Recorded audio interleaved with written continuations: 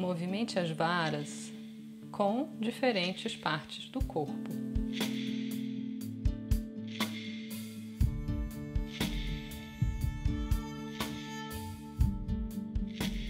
Mantendo o seu corpo no nível baixo, ou seja, próximo ao chão.